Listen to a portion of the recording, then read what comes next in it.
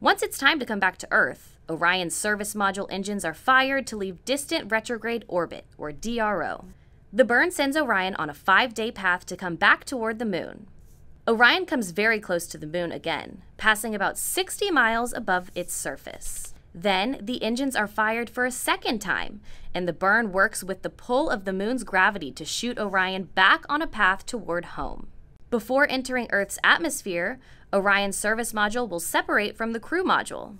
The crew module will be traveling at a speed of about 25,000 miles per hour when it hits the atmosphere.